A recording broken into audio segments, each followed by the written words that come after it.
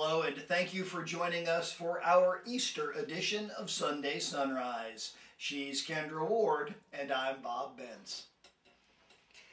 We're going to play Nothing But the Blood in the key of B flat.